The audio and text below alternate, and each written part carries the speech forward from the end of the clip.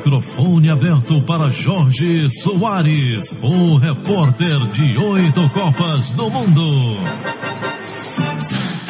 Estádio José do Rego Maciel é o que teve maior número de vistoria nesta temporada. Quatro vistorias já foram realizadas este ano e os bombeiros vão concluir ainda hoje a última vistoria para a entrega do anel superior do estádio e o lançamento do Todos com a Nota. Atacante Rafael Furtado, que teve encontro com Zé Teodoro na concentração coral, ainda na Bahia, deve concluir sua renovação até o início da noite. Futebol Card, que continua levando quase 50% da venda de ingressos e nova campanha de sócios ainda não decolou. Empresários corais se cotizando para aumentar a premiação por uma vitória neste domingo e também pela classificação. Presidente Antônio Luiz Neto declara que continua realizando no Arruda a reforma administrativa e reduzindo ainda mais a folha do elenco e dos funcionários. A reforma continua, Santa Cruz não pode funcionar de forma irreal, gastando o que não tem. Então, é, em cada setor está sendo feita uma revisão, em cada é, é, parte de funcionamento que nós estamos colocando hoje para que isso também funcione como deve funcionar de forma produtiva, com produtividade. É, nós permitiríamos jamais a retornar à presidência de Santa Cruz para permitir que os salários administrativos sejam implantados é, continua implantado. A gente está cortando, a gente vai continuar cortando. É para o bem do clube, é para que a gente possa pagar os servidores, é, pagar o preço justo, aquilo que é possível também, e para que o clube funcione. O clube precisa funcionar, e principalmente o futebol, que é o destino do Santa Cruz, e a gente está preparado para tentar cada vez mais aprimorar a atuação do clube mesmo diante de tantas dificuldades, mesmo diante de tantas distorções, mas essa torcida do Santa Cruz, ela, ela conhece futebol, sabe fazer futebol, e ela sabe que a diretoria que está aí presente, ela tem gente que, que trabalha no clube há mais de 20 anos, 30 anos, outros, uma, uma, uma, uma turma jovem que está aí fazendo curso para ser dirigente, aprendendo a ser dirigente, a gente já está acostumado a formar estagiário. Esse percentual hoje caiu já para quanto, presidente? É, a, a, redução anterior foi alguma coisa em torno de 35% a 40%, que a gente pretende é, diminuir ainda mais, até porque nós temos uma auditoria permanente que fica apontando para os setores onde a gente tem condições de enxugar, de otimizar ou até requalificar. E o jogo do próximo domingo com a Jacuipense em termos de apoio, de pagamento dos atletas, os empresários estão chegando junto? Futebol é, é, é, é um exercício de humildade, é um exercício de, de, de trabalho, nós temos uma comissão técnica extremamente competente, que já passou pelo clube, conhece o clube, e o que nós temos que fazer é o certo, é o que nós temos que fazer é honrar a camisa de Santa Cruz. Nós temos um grupo de atletas comprometido, temos um grupo de comissão técnica que sabe o que é.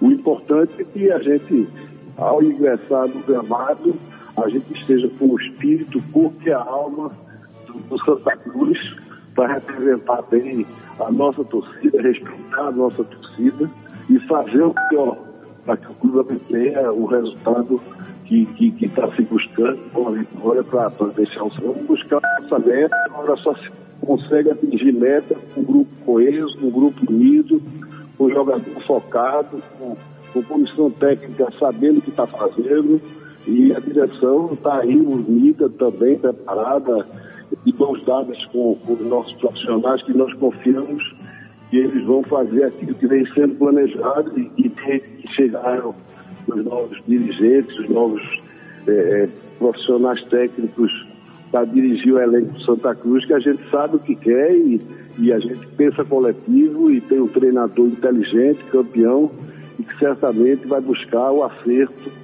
para que a gente consiga o, atingir nossas metas. É assim que a gente quer trabalhar o Santa Cruz e é assim que a gente vai trabalhar. Substituto de Rodrigo Yuri, contratado, já está chegando? Aí, Jorge, não é como o presidente. O presidente termina por aprovar uma, uma possível contratação ou possíveis contratações, mas a gente tem que ir ao mercado com inteligência, a gente tem que ir ao mercado sabendo o que quer e para trazer reforço que venha para qualificar o grupo, para colaborar com o grupo de forma efetiva, de maneira que no momento que o substituto estiver é, contactado e aprovado, certamente o pessoal do futebol vai anunciar através dos agentes de comunicação e dos profissionais. O torcedor de Santa Cruz tem que se antecipar, buscar inicios inversos, para que a gente possa é, ter tranquilidade também no dia na gestão da, da, da, do jogo, que é sempre uma logística de bons profissionais, pessoas que, que estão pro, procurando aprimorar cada vez mais esse trabalho, mas tem também muito torcedor. Então aqui vamos nos antecipar e, e vamos buscar ter condições de honrar seus compromissos.